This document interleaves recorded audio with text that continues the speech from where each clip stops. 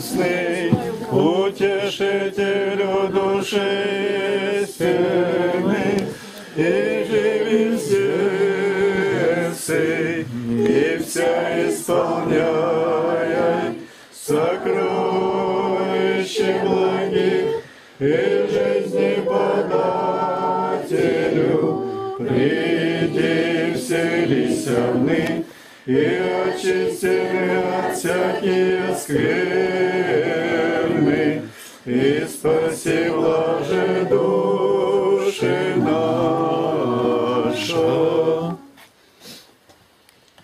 Милосердный Создатель Господь и Бог, как многому Ты научил нас сегодня через великого Иоанна Златоуста, чтобы мы ни во что ставили эту временную жизнь, а искали вечного.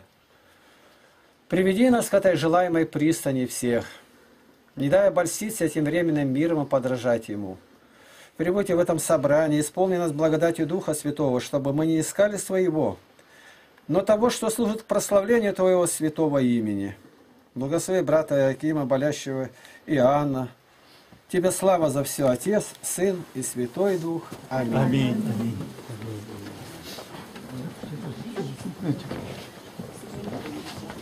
Пятишься.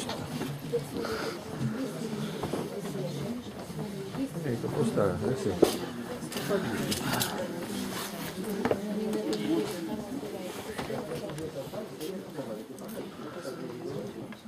Братья и сестры, радостно видеть, что сегодня у нас скамейки почти все заняты. И вчера даже как бы вот народу побольше было, да. Ну, закончился дачный сезон, видимо, поэтому дачники и дачницы здесь с нами, слава Богу. Алексей вернулся путешествующий, слава Богу. Брат вот вернулся из тайги от медведей своих. Дом закончили. Уже, ну, настолько еще не совсем закончили, но вернулись они уже, вер- вернее, переехали уже в новый дом, живут, слава Богу, там. Еще обустраиваться будут. Ну, как Господь позволит, да. Вот, Валентина Павловна всем передает поклон, ее прооперировали в четверг. Вот, ну, вернее, в пятницу прооперировали, да, в пятницу ее прооперировали. Ну, там г- операция небольшая, но все равно для ее возраста любая операция есть операция. Вот. Ну, лежит, молится, прославляет Бога, благодарит всех за молитву, всех, кто посещает ее. Вот. Кого еще у нас нет сегодня? Кубайкина. Кубайкина заболела, позвонила. Она вчера была, сегодня заболела. Зоя Шубина вчера поздно уже звонила, что в Ну, Горном погромче Алтае. можете говорить. Тань? Шубина в Горном Алтае позвонила. Так, Цингаева с внуками сидит сегодня. Нету. Кубайкина вот болеет, я Ну, сказала. она вчера просила молиться, Да, на мухи приедут в понедельник, поэтому молитесь и в понедельник возвратится Надежда с чадами. Ну и все, и Галя с Сашей завтра едут за детьми в деревню. Тоже молитесь за них. Маргариты не было вчера, по-моему? Маргариты не было, она сегодня. А я хотела ей сказать, тут э, это, Люба уже давно передала, две недели посылка послать Свете Зайнудиновой. Могли За сами позвонить. Могли сами послать. Я, выходит, Тань, как перевалочная база. Да. Я же посылаю на свои деньги посылки, но почему бы кому-то не послать? Ну, Понимаешь? Она из Потерянки что пошлет? Она попросила тебе, я откуда А, знаю? понятно. Тебя попросили, Понятно. тебе посылка. Ссылки все на меня. Так, еще кого нету? Вот Надежды нету, Надежды Афанасьевны. Что, болеет? Она с двумя больными, поэтому когда она может, она вырывается, Понятно. когда не может никак. Ли- Мария Яковлевна, вот она вчера была, но она говорит, я сильно болею, плохо, сегодня вот ее нет, значит она плохо. Да, она вчера плохо. Ну, Значит, болящая Мария, тоже молитесь о болящей Марии. Так, Лена, куда ты? Молишься как? Что тебя учить надо? Вот сюда крест кладешь. Он показал. Ну, конечно, показалось. Лена вот сегодня Паритыкина. Болела, Поля, Поля, Поля болела у меня. Слава Богу. Сейчас. Кого еще нету? Любовь Николаевна, путешествие. А Любовь Николаевна путешествующая, да, вот, но она еще там, Рубцовский, ус- устраивает свои дела. Судебные дела, так что про- просим молиться. Судебные? Ну там что-то тоже с документами связано. Помоги, Господи. Так, еще какие? Кто у нас отсутствует? Кто болящие? Кому нужна помощь какая? Есть какие объявления по, по этому поводу? Ну, вставайте. Вот коленка просит, бо- болит коленка Маргариты. Не может ходить. Помолитесь, чтобы Господь Не ее исцелил. сказали, что нет? А? Не Анила сегодня не пришла. Не Анила, да, вчера она была? Молились о болящих. Она заба- Не Анила. о болящих. Ну, а болящие болели? Да, она болящая, ее не пришла. Она говорила, у нее сердце болело ночью и нога. Позвонила? Ну, я с ней общался утром сегодня. Ну хорошо. Не Анила, болящие. Еще кто? Всех? Да? У меня голова постоянно болит, а работа очень серьезная. Помолитесь, чтобы я там нигде не ошиблась. Помоги Господи. Очень серьезно. А ты где работал? Вам слово. Батюшки нет. У нас должно было в октябре произойти годовое собрание. Ну, он заболел, ну а без батюшки собрание какое? И Оно не может быть даже, пока он есть. Поэтому а, объявляется согласно уставу за месяц раньше, а мы объявили за 10 лет раньше. В октябре, первое воскресенье, или когда вот после 10 там. Поэтому, знаете, как батюшка приедет, то воскресенье сразу за, за его приездом он скажет и годовое собрание. Что-то приготовьте, какие-то подарки какие-то предложения невещественные, духовные. Вы сегодня столько слышали. Вот когда считают проповеди Иоанна Златоуста, батюшка их сокращает нещадно. В 10 раз примерно. А сегодня, я гляжу, прочитали как положено. У него проповедь у Златоуста в среднем 27 минут. Я уже перевел на греческий язык, посчитал, как он говорил, но не скороговоркой. Или 35 минут, так в среднем у него где-то колышется. И гляжу, уже, как говорится, закимарили. Дети там сидят, ну, конечно, для детей трудновато.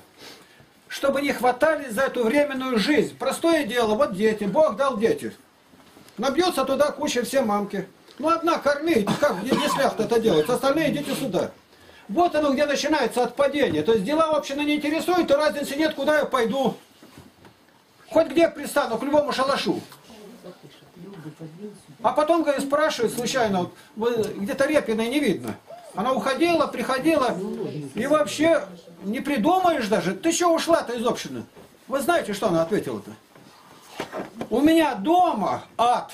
У нее дома ад. Почему? Сын убийца, отсидел, вернулся, ясно дело, что он там делает. Можно догадаться. И она говорит, когда я прихожу сюда, я как в раю. А домой прихожу, а сильный перепад вот этих температур. А когда иду в храм Московской Патриархии, там все одинаково, как у меня дома, поэтому мне на, на сердце легче. Это чисто мирской рафинированный ум. Чтобы у нее перепадов не было. Этот самый перепад будет потом. Когда по-малому Бог нас наказывает, переносимые болезни, это благо. Но когда Бог отвергает долгое время, говорит, долго терпит, да крепко бьет, есть поговорка. И бьет так, что опрокидывается все, горит и дымится, и пыль до неба, и дым. Как Октябрьская революция. Бог, Бог долго терпел Россию. Сейчас материал в интернете выставляют. Нет более недружественного человека, чем русский. И начинает говорить, никто так безжалостно не обращается с природой. Это сплошная свалка. Я двумя руками голосую за эти слова. Я проехал от Москвы до Находки. И вот выбираем место где-то войти в лес. И ни одного места не могли найти, где бы не было свалки. Прям привозят там мешки, бутылки. Целлофан как-то хоть разлагался, бутылки не разлагаются. Страна это свалка. И когда эта земля отойдет другим, Китаю или кому, они здесь будут работать год, пока все зароют. И будут показывать пальцем. Вот все-таки Бог уничтожен, или кто там, Кришна, или они по-своему объяснят. Эти люди не ценили Божье творение, хотя бы поэтому. Дружественные не были между собою. Где русские появляются, это пьянство сразу появляется. И целый список выставили. И самое, говорит, главное, что русские это все знают. Ну все же знают это. У нас была еврейка. И она говорит, У евреев примерно за 3000 лет, ну как история говорит, не было ни одного ребенка неграмотного. А у нас ликвидация безграмотности, ликбез, еще при советской власти. Да у царя-то школы-то начали приходские строить, когда уж, ну не за 300 же лет-то. Ни одного еврейского ребенка нет неграмотного. И вы не видели, чтобы еврейский мужчина лежал где-то на остановке, из-под него лужа текла. Я подтверждаю это так. Нам надо учиться и учиться непрерывно. У других народностей, свое потеряли. Я говорю это не в отвлеченную куда-то точку, а в конкретные ваши уши. Вот она не пришла, нету ее, проходит время, простите, я вот, теперь я пришла. Ну пришла, пришла, садись опять. Если ты ничего сюда не прилепил, то тебе легко уходить. А если ты много заложил этот участок, как ты его бросишь? У тебя дом стоит, у тебя хозяйство здесь. Ты получил землю, у тебя техники полно. У нас в деревне жил Желтухин. Он священник был. Ни одного гвоздя нигде не забил, только самый нужный березу успел спилить и все. Даже никогда не узнаешь человека. Все ему бросились помогать, у него много ребятишек, все. Подарили телки. В деревне стельная телка это золото. Никому не говоря, он взял их, прирезал, мясо нужно. Стельную телку, да на мясокомбинате, может быть, даже не приняли бы. Порезал к утру всех, овечек дали, туда же под нож. Как это можно жить-то? Люди как начинают? Курочку завел, от курочки яйца продал гуся. От гуся получилось, смотришь, там овечку купил, потом овечек развел, уж на коровку перешел. Здесь дали последнее, выше коровы только верблюд. И сразу зарезал, все, продал, у меня деньги есть. Да так Хрущев перегонял Америку. Порезали все и догнали, правда. Но только мясо все сгнило. Объелись. Нам надо учиться у Бога, просить милости Его. И приходить не с пустыми руками сюда. Сказать нечего. А всю неделю-то где вы были? Что у вас было? Какие у вас известия были? Такие, чтобы подключить людей, чтобы молились. И чтобы ты с трепетом наблюдал, как это дело доброе растет. Вот на каждого ребенка смотрите, вот. Вот она стоит, третий ребенок. У нее впереди два ребенка было. Где? Подросли. Ну, обстановка ненормальная, муж неверующий. Оба ушли в мир. Она делает последнюю ставку, еще одного рожает. Я скажу, ничего другого не будет. Она умирает, трясется, бежит к нему. Отпусти ее с рук, отрежь эту пуповину. Отдайте ее хотя бы на полчаса туда. Не сидите с ними. У нас в семье было живых 10 детей, а было 12 у матери. И вот так вот, чтобы мать помирала, или от крика отец бежал, как оттуда крикнет ребенок, уже отец бежит, хотя мать тут. Да что это такое-то? Какие сердобольные это. Вокруг миллионы людей гибнут, никого не видят. А свое? Да свое только умом ты постигаешь-то. Дело забывшее-то, а тело заплывшее-то. Наша мама говорила, говорит, вот я смотрю, как будто не я их рожала, а перед ней 10 детей. Это все уходит. И сегодня нам Златоуст об этом напомнил. Не цепляйтесь за это. Сирах говорит, хотя бы ты народил тысячу детей, все оставишь. И прожил бы тысячу лет, все оставишь. Во Франции умерла, как считают, самая долгожительница Земли 122 года, Жанна Кальман. Вы, говорит, состарились. Она говорит, я еще сто лет назад была такая же старая. Мне интересная мысль. Говорит, а что ждет в будущем? Какой она будет? Она ответила, самая короткая. Это ей принадлежит. Говорит, у вас морщин много. Она говорит, только одна, на которой я сижу. Где-то в 112 лет бросила курить. И бросила почему? Потому что зрение ослабло. Каждый раз, говорит, надоело, просил прикуривать у кого-то. А если бы она Бога-то знала, да за 122 года сколько можно было людей-то просветить евангельским светом? Ей 14 лет было, когда Эйфелеву башню строили. Ван Гога знает, пришел, как он одет был, все рассказывает. Эти люди передают мирские события. А люди, которые знали Христа, представьте, как выискивали таких. И ты с Павлом встречался, да, я у ног его сидел, я учился. Павел вспоминал, у какого дивного учителя Гамалиила он был. И это упоминает. Вы еще не раз будете вспоминать, что сегодня вы слышали Иоанна Златоуста две полных проповеди. С названием. Не утомляйтесь, Златоуст говорит. И Василий Великий, не удивляйтесь длительности того, что вам преподается. Это необходимо. Многосерийный фильм «18 мгновений». Там и не мгновения, там дни сидели, месяцами. Сколько пропущено было, и наоборот отпрашивались во вторую смену, чтобы только посмотреть, а что там дальше будет. А все это выдумано. Ильян Семенов это все придумывал. И концовка была не такая, какую показывают. А что он возвращается, его арестовывают, у нее ребенка отнимут. Все это мимолетное и дым. Нам нужно знать священное писание и по нему сверять свою жизнь. Надо изыскивать новые методы проповеди. У Станиславского был священник знакомый. И он говорит, народ совсем от Бога отошел, храмы пустые стоят. А он говорит, а у меня с каждым днем все больше и больше в театре людей. Батюшка, маленько, говорит, надо репертуарчик-то менять. Надо смотреть, какое время, каким языком люди разговаривают, и ну, вносить свои какие-то элементы, чтобы людям быть, было понятно это. Я вот думаю как. Ну, по милости Божией, нынче год был удивительный. Вот как нас намечено было, я говорю, мы сделали и по расстоянию, и по посещаемости ровно в три раза больше, чем было намечено. Почему? Мы не знали, как это будет. Сейчас мы знаем. И уже конкретная программа. Мы уезжаем до июня на три с половиной месяца. Мы знаем, сколько грузу надо взять, семь с половиной тонн. Мы знаем, сколько денег на это надо. Когда весна нынче была, в 2012 году, мы ничего не знали. У меня сейчас стоит средство нужно, а у меня ничего нет. И шофер, один Витя, вот он рядом сидит. И он говорит, один не поеду. Он заявляет, как враг. Если не пойдет Девора на фронт, то и я не пойду. Пусть Израиль в плену будет. Давай сам подыскивать напарника, совместимость характеров. У нас была совместимость, совершенно несовместимая в последней самой длительной поездке. Шоферами были вот он, Игорь Третьяков. Совершенно неожиданно у него там какие-то заморочки на работе были, отпросился. И Вадим, которого с места не сдвинешь. Ничего подобного. Он сделал большое дело. Без него, может быть, и поездка не состоялась бы. И вернулись живые, самое главное. Все остальное позади. Нужно найти шофера второго. Значит, программа на 2013 год у нас очень четкая. Куда мы едем. У нас все. Сейчас готовят карты на все э, места. Даже местные республики, которые внутри нас. Это, это центр России. От Санкт-Петербурга до Одессы.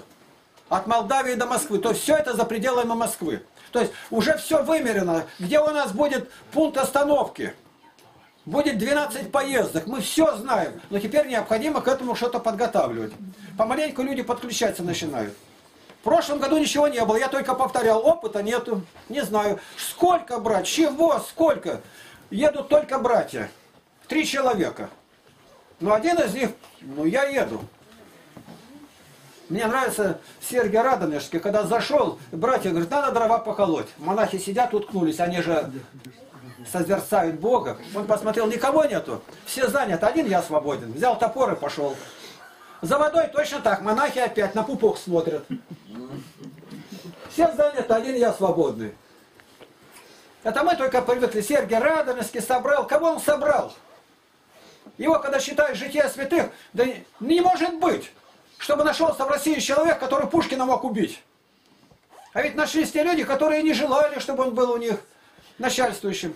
У него не было даже сухарей. И ни один монах не подошел и не сказал, отче, возьми, вот у меня сухариков тут 12 мешков насушил. Люди-то приносят. И он тогда идет и говорит, братья, кому может поработать надо? Есть охота. Молчат. Один говорит, да мне вот надо сенки срубить. И он берет топор, рубит. И он дал ему самое заплесневые сухари. И когда он ел, написано, изо рта шел дым зеленый, стриптоцит. А братья стояли и смотрели. Они смотрели на его рот. Ну какое же это состояние-то людей было? Они стояли и смотрели, и когда увидели, что он есть плесень, ни один не принес целого сухаря. Это его житие. Это мы привыкли сегодня говорить, вот он был такой и привел. Неизвестно, привел ли он кого. Я вам столько рассказываю примеров житийных. Поревнуйте им. Павел говорит, подражайте мне, и в ком видите этот образ. Надо ревновать об этом. Не написано, когда умрете, и хороший будет наставник, режь его по кусочкам разносить. А написано, подражайте вере, взирая на кончину. кто проповедовал вам Слово Божие. К этому надо стремиться. У нас программа есть уже почти оформившаяся на 2014 год. И этим мы заканчиваем, потому что у нас ничего уже не будет. Я говорил, какая программа? Значит, нужно найти крупного спонсора, чтобы дал нам иномарку, временное пользование или постоянно, с такой же грузоподъемностью до одной тонны. И центр у нас будет Берлин, да и доходим мы до Португалии, опускаемся в Греции, под Ла-Маншем и в Англию. Потом идем на Скандинавию, Прибалтика возвращаемся. Уже сегодня будем говорить о визах. То есть сегодня это абсолютно кажется нереально, как вот нынешний год тоже казалось нереально. Мы за 150 километров боялись тележного скрипу. А тут в одном направлении двинули, Владивосток, находка. Насколько достоверно, не знаю, будто бы батюшка буркнул безумие. А потом стал всячески помогать. Притом самый, может быть, главный помощник. Он, видимо, испугался даже. Но и мы-то боялись. Я все еще вижу во сне, как мы едем. Не могу выйти из этого состояния. Все еще вздрагиваю. В какие попадали ситуации. Но, Бог милостив, мы должны просить, чтобы посеянное возросло.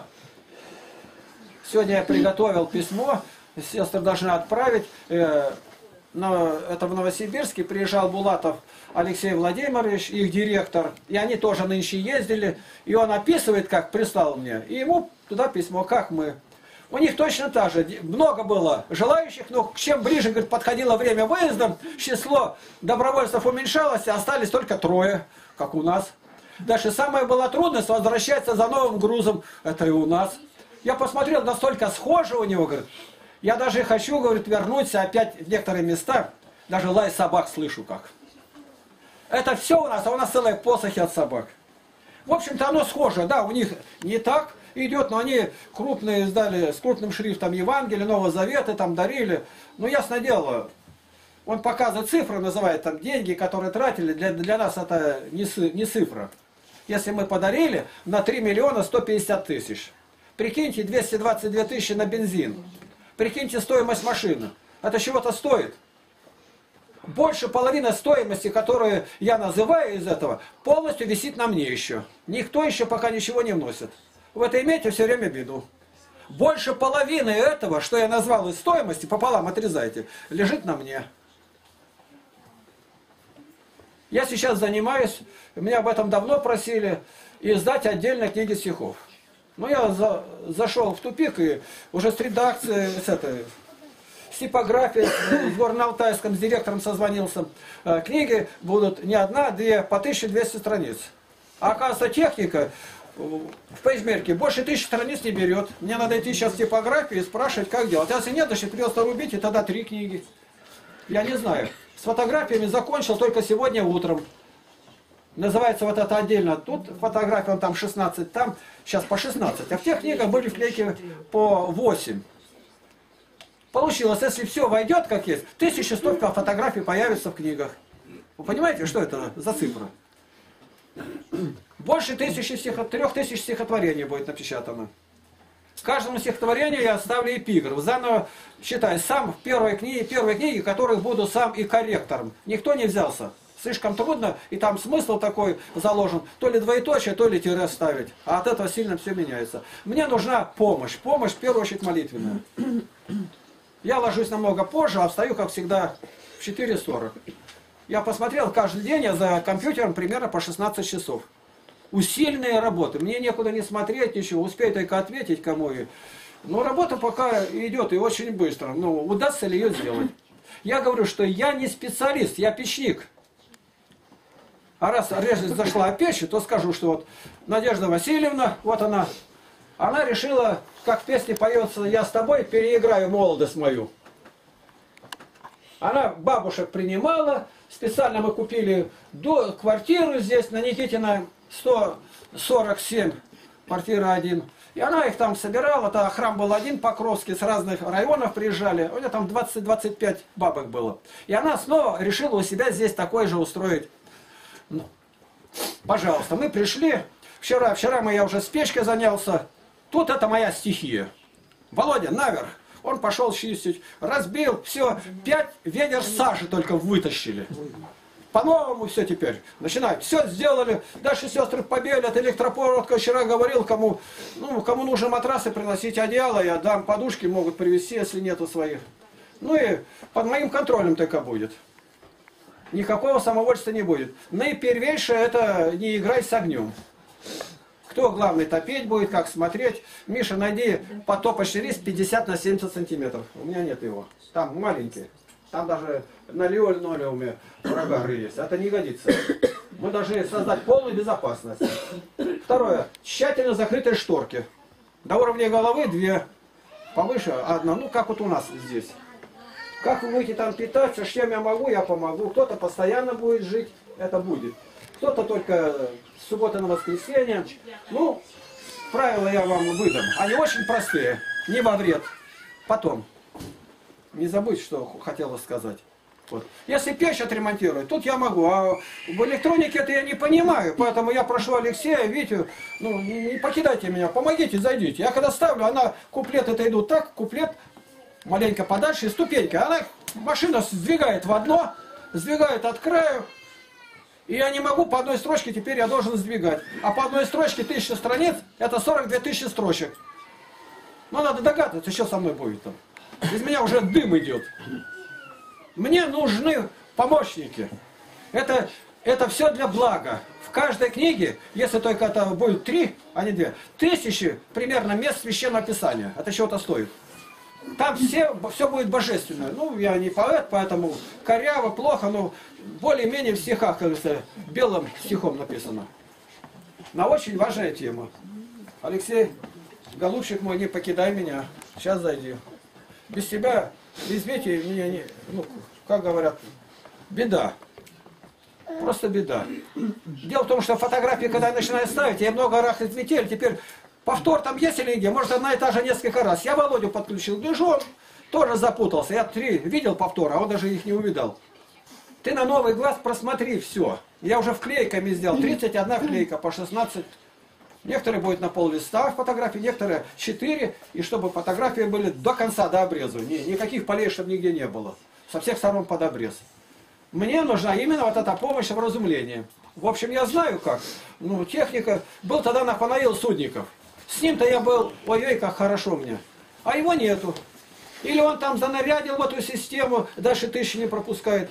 А словарь Дьяченко 1350 страниц. Да и большего формата можно. Это все можно сделать, но я не знаю. Сунулись в интернет. Я говорю, тысячу страниц, а он говорит, тысячу экземпляров, как выгоднее продать.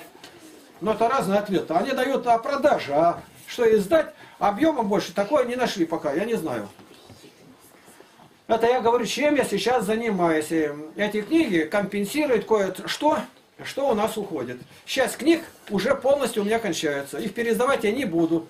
Эти стихи отдельно издаю, некоторые вообще нигде никогда не были изданы. Все, все, каждое стихотворение 9 куплетов четырехстрочных. Так. О, как, какие голоса. Вы когда вот здесь говорите, маленько напрягайте голос. Даже скажу, говори громче, все равно говорит я не слышу. Сегодня, как прекрасно братья читали, Златоуса. Брат Севастьян, он сидит, э, просто голос прорезаться начал. Все время, как Панамарь.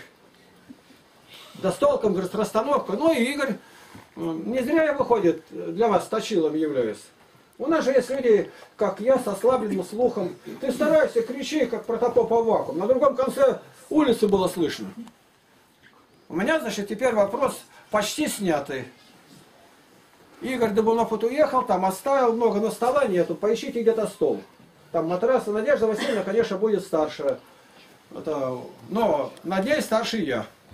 Дом этот принадлежит мне, квартира мне. Это за то, что я сидел, конфисковывали, и потом, вы знаете, как было. К нам претензий нет и ни у юстиции, ни у прокуратуры. Мы живые вернулись им. Это просто включить и непрерывно благодарить Бога. Как Он нас дивно провел. Я не могу даже на молитве выйти из того состояния еще, где мы были, как мы ночевали. Уже темняется. С трассы сойти нельзя. Ну куда спрятаться? Куда? Нет, нет маленькая площадка прямо около дороги. Ну сдвинуться маленько, рядом машины проносятся. У нас она не горит сзади осветителя там, фонари-то. И мы здесь же вытащили, дождь идет, и тут же обедаем сидим. Чуть-чуть не рухнули. Взяли траву, машины скосили, и Игорь, кажется, кто там был? Хотел дальше, потом остановился. Оказывается, они скосили, а дальше обрыв идет. Она по макушкам. А когда едешь, кажется, ровное место. Выше, а тут кювет. На расстоянии шины одной остановились. И решили больше никогда ни сантиметра не сдвигаться, пока не пройдешь, ногами не прощупаешь. Надо эту картину видеть. Машины освещают, сидят бородатые какие-то дядьки, обедают, дождик моросит. Что это такое? В горах. Даже поесть негде было. И все это позади. Уже идут известия. Просят даже кое-что им показать, что мы сняли. Мы не знаем, какие будут плоды и какие отзывы. Но э, просто такие отвратительные отзывы Кемеровской епархии больше нигде нету. Не встречаю. Может быть и были где-то. Нам это неизвестно. И я думаю, узнавать не надо, как будет. Сеющий, поливающий, ничто. Все, Бог возвращающий. Мы на свободе, мы вернулись, мы целые. У машины какая-то поломка внезапно случилась. Я прошу эти два Николая у нас тут, Кручина и Польгоев. Вы пожалуйста, подключайте там Игоря, Глушкова, Барабаша, что требуется подварить, сделать. И... У кого книги, которые первые были на, на дому, не, не, не вот где я хранил книги, поднимите руки. Значит, мне полный список и все сюда привозить. Мы будем отправлять, видимо, контейнером отсюда. Опять нужны будут деньги. Деньги. Ищите людей, ну, богатеньких таких. Я не отступлюсь от издания книг, но и дальше не надо забывать то, что у нас есть. Что мы делали. Это просто необходимо. Иначе мы остановились на одном месте, у нас никакого ни движения, ни развития не будет. Вы оцените то, что имеете. Вот эти занятия. А, некоторые никогда не остаются. И не потому, что заняты. У одной муж больной, муж умер, все равно будете бежать домой. У другого там еще какая-то причина. Причина-то не в этом. Любовь движет горы. Ну, извинитесь, переломи эту обстановку. Скажи, я не была, но сегодня я остановлюсь. Сегодня я попробую, я побуду. Да мало того, записывай. Я вам ставил пример фамилия его Лютых, Георгий Иннокентьевич, слепой, шестилетнего возраста, полностью слепой на сто процентов. И как он развил свою память, мой разговор на пленке услышал с Атом Дмитрием Дудко, это из Камска, за Красноярском. И сюда приезжал три раза, слепой. Один раз по водырем, а два раза один. Чтобы побыть вместе, насладиться, как он говорил, беседой. От меня узнал отца Геннадия, поехал туда. Отец Геннадий, магистр богословия, бывший преподаватель Томского университета, и мне говорит, я не мог найти границы его знаний дяди Гоши. Я к нему поехал, беседуем, он говорит, а вот первый перевод был, или в Острожской Библии, там так, полез под стол, достает, я читаю, он цитирует Острожскую Библию. Да я ни одного слова не смогу сказать. Еще что-то полез, достал, взял, все так вверх ногами перевернул. Вот как тут это по Брайлю читают. Какие стихи печатал он, печи делал. Дом построил совершенно слепой. Человеку столько Бог дал. И он как пример был, он уже отошел. Он отошел, например, я вам передаю. Подражайте ему. Он на службе руководил клиросом всем. Жития святых я знаю. И знаю неплохо. Но когда я с ним встретился, я понял, я знаю хуже его. Он даты называл, когда. Это 1173 даты. Как говорят у Куприна, он чудовищно развил память свою в рассказе Анафима. И это вы можете каждый начинать сегодня работать. Некоторые есть даже Евангелие не прочитали, или Новый Завет, или Библию. А что я читать? Я уже знаю. Даже малые дети говорят. Так я ее уже читал. А что там одна Библия такая считается? Дети умничают. Ну что, родители неверующие? Или полуверующие? А у меня знакомый священник из баптистов говорит, а я знал баптиста, он прочитал Библию от корки до корки, 66 книг, канонические, сто раз. Сто раз. Он знал ее содержание. Это вам просто я говорю. Ну, ну в сто раз хотя меньше сделай, один-то раз посчитать ты должен. Сегодня так удобно, это и начитано, можно слушать на, на, на дисках. Э, это все доступно каждому человеку. Потому что рано или поздно мы уйдем из этой жизни. С чем мы предстанем? И вот говорят, обмирали люди, я сколько считал про них, все говорят одинаково. Когда было время ему возвращаться сюда, они не хотели возвращаться. Им, они не, не райскую жизнь наследовали, но им показан был рай, чувство наслаждения, которое там. И они не хотели сюда возвращаться, хотя здесь их любит мать, как ребенок. Это житие святой Клеопатры, Уара. Мать плачет, подает, он явился и говорит, не надо этого делать, мне здесь хорошо. Молодой офицер умер, ну, кадет, кадет был, по тогдашнему сказать. Там не видел глаз. Это надо понимать, смиряться. Я смиряюсь, я могу сдачи дать, но я этого не сделаю. Я могу тебе так сказать, слезы потекут. Оскорбить могу, как хочешь, но я не сделаю это. Вот так, повторяй себе. Я этого не сделаю, потому что я люблю Господа, я себе не принадлежу. Я это стараюсь для моего Господа. Вот кто думал здесь оставаться, к Надежде Васильевне сейчас же пойдите, посмотрите. Она там, рука у нее не движется, что-то надо помочь, сейчас мыть, белить. Там, все подойдете к ней. Минутку еще. Подойдите. Это так радостно быть вместе. Она сегодня как обновилась. Она томилась тут с нами. А тут она вырвалась на свободу, гляжу, сияющая приходит, как будто помолодела на два дня. Уж не на 10 лет, как говорят. У батюшки ничего там не известно. Там голос, голосок веселенький был. Ну, что он, как понимает, так он понимает, уехал. Может быть, так и надо, тут я не знаю. Марина-то его тут прикормила, он у меня за стол не садится. Теперь надо думать, Надежда Васильевна, привечай его, Марина, передай, ты уж тут его Да мы его с собой, приводил, он ко мне мы даже его не с заходит. собой заберем. Вот. То, что нам Господь позволяет сегодня о чем говорить, завтра этой возможности может не быть. У меня есть кое-какие сведения. А Нищенко есть такой. Он, я беру только с интернета. Это главный санитарный врач страны. И он внес предложение президенту Путину, чтобы ограничили доступ детей в храмы. Если за этим что-то воспоследствует, это будет что-то. Он, может быть, со своей стороны, что дети ничего не понимают, а так приходят всякие бомжи, что, может, ну, он как заботится о безопасности людей, может быть, у него какое-то обоснование есть, но это не обоснование детей не допускать в храм. Они дети-то в детсадике идут, они на улице, они в трамвае, они по улице бегают. Нет. Как-то было, когда стали закрывать, какая-то там эпидемия была, и тогда был архиепископ Павел Новосибирский, и он был в Прокопьевске. И пришло, вот тогда власть большую силу имел на церковь, э, прекратить временно открывать церковь, потому что зараза распространяется, то другое. Он говорит, рядом клубы у нас есть, кинотеатры, пока все не прикроете, церковь я не, не прикрою. У меня есть, говорит, на открытие храмов, освящение, молитва, а на закрытие у меня молитвы даже такой нету. И все, отступились. А у меня документ в оригинале был. В оригинале, который там поступил, а там работали бухгалтера, они мне этот документ оттуда. Я его поместил даже где-то в книгах. Поэтому цените настоящее время. А оно таким не будет. Не будет, поверьте. Закрытый процесс над Хвачковым вот должен начаться сейчас.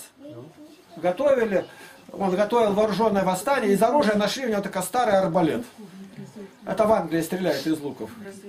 Но так нет, Бог его знает. Но эти люди, он полковник ГРУ, хорошие люди, кого патриотов арестовывают, это не безразличные люди. Многого они лишились, пошли. Испортили биографию, испортили, как Душенов. Ну, для по-мирскому. Но это наши герои в настоящее время. Герои, они от многого отказались. Мы даже не знаем, даже все время их нести на руках молитвы. Помоги хотя бы душевного, поминайте Константина, но остальные и все, кто страдает по этой 282 второй статье. Это люди, которые хотят, чтобы было по-другому, было лучше. Но правильно они, неправильно нам это не суть. Они страдают. Я на свободе, они, они так. Поэтому, находясь на свободе, Павел говорит, будьте как вы вузов, несите это бремя. Так, ко мне вопросы. У меня самое ограниченное время сейчас. Я даже раньше уйду сегодня. Прошу только не убегать э, моих помощников. Давай, вот хотела она. Людмила Степановна. Сегодня братья, вы уже заметили, что сегодня братья хорошие нам проповеди прочитали про Иоанна Златоуста.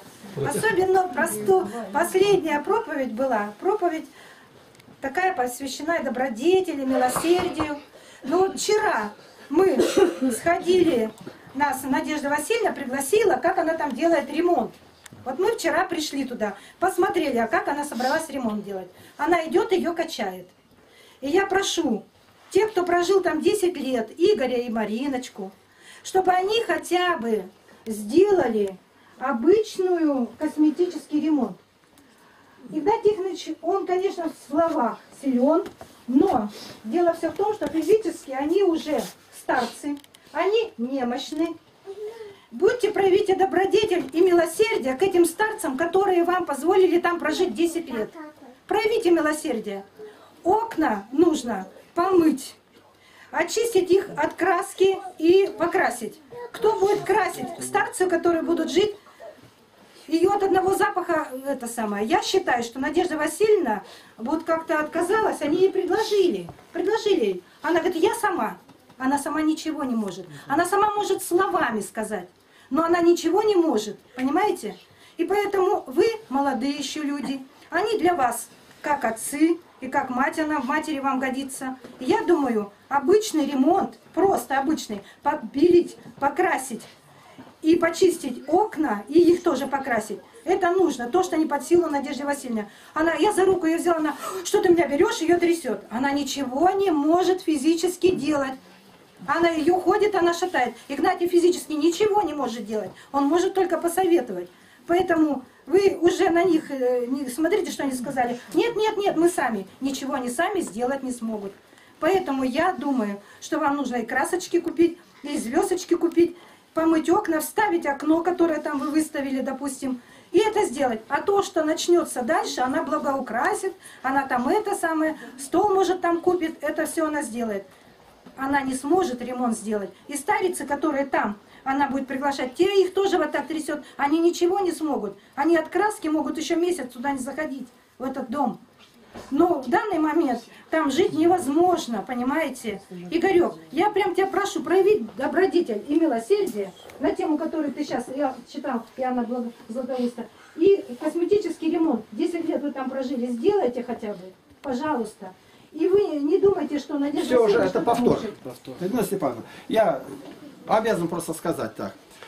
Э, Ты-то меня задела, я бы, может, и нету. Раз вы меня задеваете, я сказать, он ничего не может, как-то не может. Я сделал самое главное, что ни один не может делать. Вы можете да, покрасить, да покрасить, это что там, там любой бомж покрасит. То, что я вчера сделал, ни один не сделать. Я разобрал полностью топку, пробил, полезли оттуда, прочистили, я печник. Только затопили, все, зеркало от пола до потолка обогревается, там тепла сколько. Главная работа сделана, главное уже сделано, теперь побелить. Так, вы не добавила следующее, что Игорь, который там вот с Мариной жили 14 лет, он в тайге был. Он только-только вернулся, и Марина вообще одна, не, она ничего, она и говорит, его нет. Я поясняю, ты все сказала правильно. Но тут надо небольшую поправку сделать. У меня претензий к ним никаких нету. Дело в том, что он строит дом, у него там столько, входит в зиму, приехала теща, там родители будут, у него столько еще дел, он вчера рассказал, и везде деньги дерут ни за что. За энергию дополнительно еще 7 тысяч сгладили с него. Поэтому даже стекло, которое выставили там, э, я, конечно, ни- никогда этого не делаю. Ну, вот это что-то нет, даже доской можно забить, чтобы такое там пропенить и все. Вы придите, кто может там. Там невозможно жить, можно жить. В сторожке люди живут в Охотницкой. А здесь что, крыши, стены, от меня через стенку, это вторая квартира-то.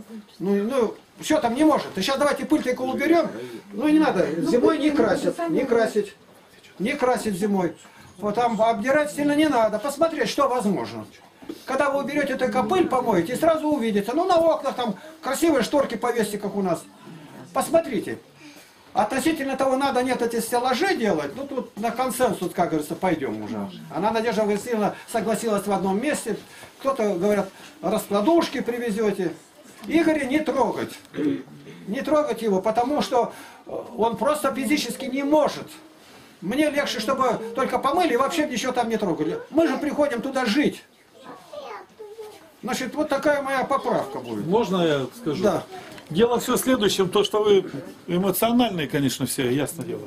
Но вы же 14 лет там не жили. Вы говорите, там жить невозможно. Но сейчас бы, если бы у нас не было дома, мы бы продолжали жить. Вы-то сами понимаете, о чем сказали? Это кому похвала-то была? 14 лет мы там жили. А вы говорите, сейчас невозможно жить, когда там мы все убрали. Там же все было за- заставлено чем-то. Что это же надо было убрать, чтобы что-то делать, ремонт. И во-вторых, вы же знаете, что хозяин Игнатий Тихонович, никаких красок там нельзя делать. Никто, ты вы видели хоть раз, чтобы красили без него? Без него красят, когда он уезжает. А с ним никаких красок. Поэтому там все покрашено. Там не покрашено, а забелено водоэмульсионной краской простой. Да, просто водоэмульсионка и, и все окна, и все, и двери. Одна только дверь там была этой краской белой. Я попытался сделать из э, конфетку. Но там рядом печка, поэтому она вся стала черная, вы понимаете? Я ничего сделать не могу. Там такой вид, потому что печь рядом, и это все стены, вот эти тенета и так далее. Вы думаете, я хожу и специально э, дизайн навожу, что ли, чернотой? Ну вы представьте, как там сделать ремонт. Я постоянно работаю в этой тайге летом. Зимой вы не будете там кувыркаться. Марина сама одна, она не, этим не занимается. И тем, ну, в общем. Значит, сестры, я прошу, вы такие специалисты, помаленечку подходите, хотя бы день, кто может. -то. Вы такие мастера тут и винограднику развели, что это все остальное уберете. Стол только найти. Единственное, что не хватает стол. Если нет стола никакого не будет, я сделаю из досок. У меня все самостоятельно я делаю. Вот эти доски, это все на месте сделали. Этот с Украины был. Коломищенко Олег, дай ему Бог царство небесное и здоровье. Там два Так, стола же. вопрос, вопрос о ремонте больше не заводите, а приходите к Надежде Васильевне и помогайте еще делать. В первую очередь, там вчерашняя пыль, сажа налетела где.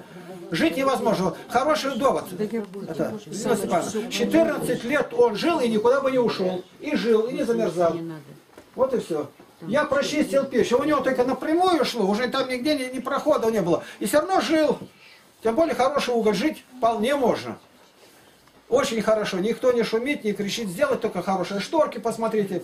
Красить ни, ни одной капли краски, чтобы там не было. Категорически против. И стекло вставить, я Мишу попрошу там, или забить ка- картонкой, там, Да которую мы выставили. ставим стекло, все это. Потерялось одно. Это Вот и все. оставим стекло. Главное в доме это стены и печь. Запомните, крыша, чтобы не протекала. Крыша не протекает. Нормально. Все как есть. У меня всегда к вам, когда встречаюсь, просьба. Вот мы говорим, вы до дверей доходите, не забывайте некоторые, о чем мы говорили. Вы живете напряженной жизнью. Мы говорили о, о делах, которые не каждый делает. Нам нужна сейчас помощь. Помощь, ну ничего нету. Чтобы Бог показал, кто может быть нам помощник. Чтобы выше на этих людей. Я завтра выхожу из дому. Я сижу недвижимый. Но завтра я пойду, меня нужда заставила идти.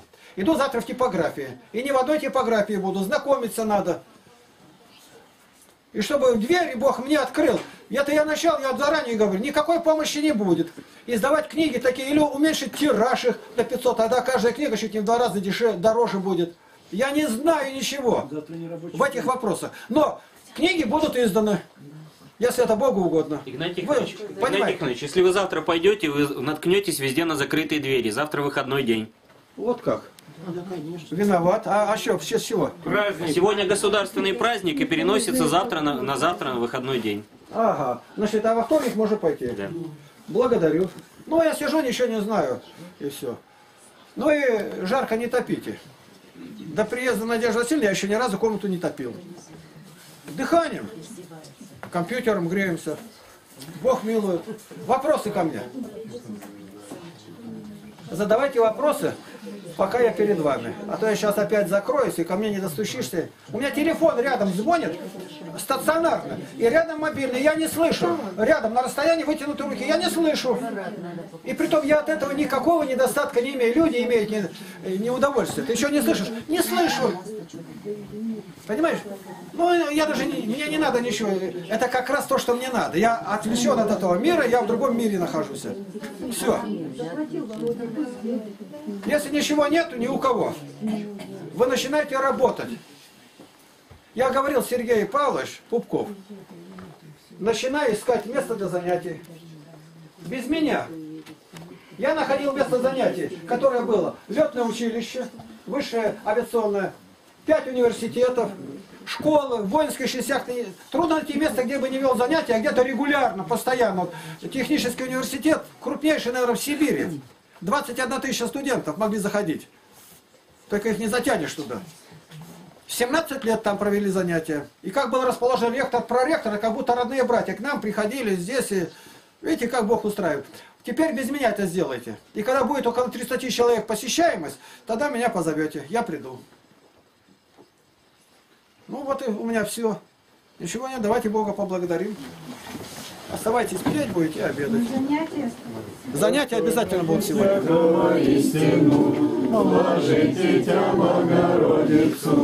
Пресноблаженную и пренепорочную, и Матерь Бога нашего, честнейшую Херувим, и славнейшую без сравнения Серафим, без истления Бога Слова родшую, сущую Богородицу Тебя величаем. Милосердный Создатель, хвала Тебе и слава за долготерпение и милость Твою, которую Ты оказываешь нам. Сохрани это место от пожара воров нечистой силы и селения наше. Найди новые души, добрых насельников, знающих Тебя, имеющих страх перед Тобою. А буйных сам укроти, препятствующих благовестию священников вразуми. Пошли мир этой земле еще, доколе можно. Потерпи нас, Владыка, благослови правителей страны, патриарха, епископов и священников, чтобы искали Тебя, ибо отдавать отчет по Слову Твоему, чтобы не по вымыслам человеческим вели людей, но по истинному откровению божественному. Дай каждому, кто не имеет духовное рождение свыше, чтобы мы были всегда водимы Духом Божиим и наследовали жизнь вечную. Хвала Тебе за все, Отец, Сын и Святой Дух. Аминь. С миром Божьим.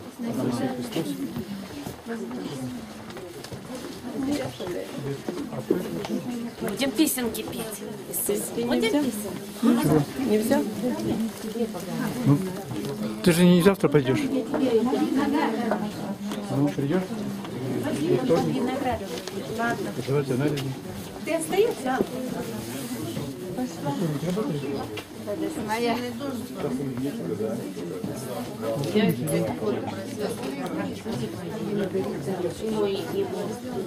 в ту неделю вот я вас отвезу. Вы ворота обживали. Дядя мама с ней сидела. Я дело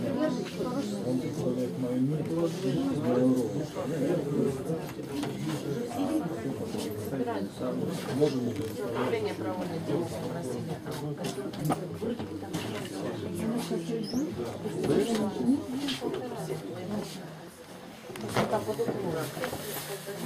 вложили.